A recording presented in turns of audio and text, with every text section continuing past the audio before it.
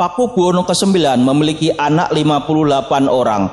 Adapun rinciannya sebagai berikut. 1. Kanjeng Gusti Pangeran Haryo Prabu Wijoyo bernama kecil Gusti Raden Mas Adamadi.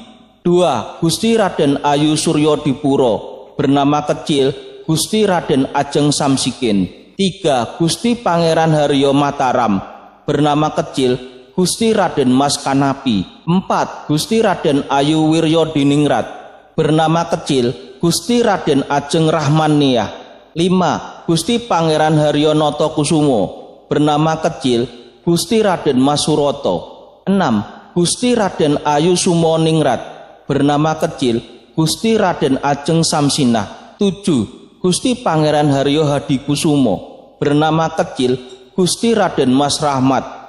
8. Gusti Raden Ajeng Samsiah meninggal di usia muda